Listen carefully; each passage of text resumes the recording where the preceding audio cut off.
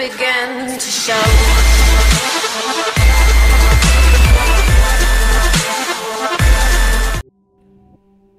Witam was wszystkich bardzo serdecznie w kolejnych Minecraftowych nowinkach. Bardzo, bardzo długo nie było nowinek. Dużo razy się mnie pytaliście, kiedy nowinki, kiedy nowinki, kiedy nowinki. Ja wam zawsze odpisywałem tą samą treść, czyli jak wyjdą.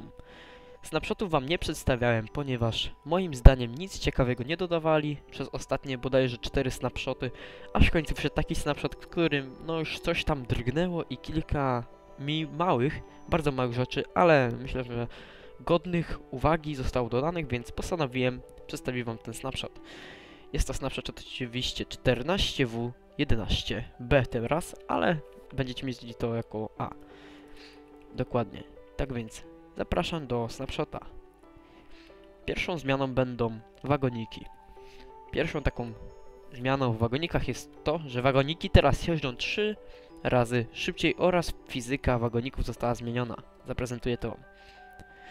Czyli po prostu wagoniki mogą się od teraz wykoleić. Zobaczcie jak to teraz szybko zapiernicza. I zaraz się wykolei i się wykoleił.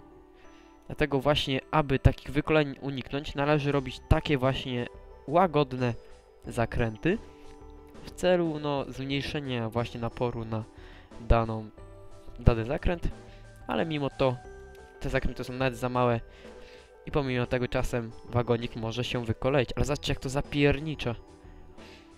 Kurczę. Wow.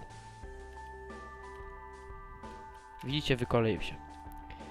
Następną zmianą jest to, że podobno zostały ulepszone wagoniki z piecem i podobno teraz są użyteczne. No, właśnie tu wam chciałem zaprezentować, że chyba nie bardzo jednak. Weźmy je, zasilmy. Widzicie? No trochę nie bardzo. Zostały właśnie ulepszone. No właśnie. Następną zmianą jest nowy mob. Tym mobem jest Endermite. Tak wygląda jajko spawnujące, a ten mob wygląda właśnie tak, taki jakby przerobiony Silverfish. I Gdzie on się spawnuje, jak go otrzymać? On się właśnie sam nie respawnuje, on tylko pojawia się po zabiciu Endermana. Choć jest paradoksem, gdyż Endermany strasznie ich nie lubią. Zaprezentuję wam to. O, zaś już biegnie do tego, już biegnie, już biegnie do niego. Oj, coś się nie zrespawnował.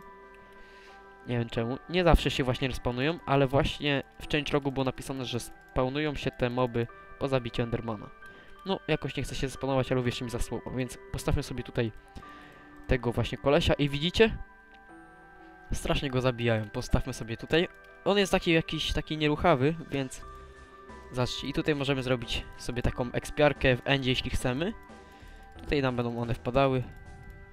Oczywiście wiecie, że w endzie dużo się spawnuje ich, endermanów. I widzicie, tu pieski spadają. Oczywiście tu by dopadało dać jakieś tabliczki albo jakieś coś, żeby one myślały, że tu jest blok. No ale już nie wymagajmy, nie róbmy takich tutaj niepotrzebnych rzeczy. No i ostatnią zmianą jest to, że teraz... Yy, jedną z ostatnich, przepraszam, zmian jest takie coś, że teraz dół kotła jest w 3D. Kiedyś to była taka płaska teksturka, teraz takie, co, tak to wygląda mniej więcej. Dokładnie.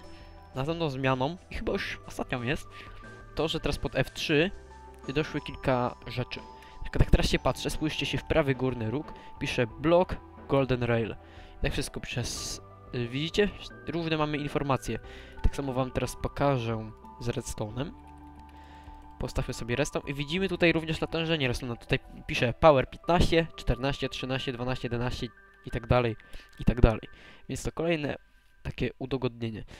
Ten snapshot zdecydowanie jest przeznaczony dla nas, czyli survivalowców, niż mapmakerów, bo ja jakoś tymi zmianami z komendami w ogóle się nie interesowałem, dlatego wam tego nie przedstawiałem. Tak więc, dobrze. Dzięki za oglądanie, do zobaczenia w następnym odcinku z serii Minecraft Nowinki lub jak ja już to tradycyjnie mówię w snapshocie. Do zobaczenia.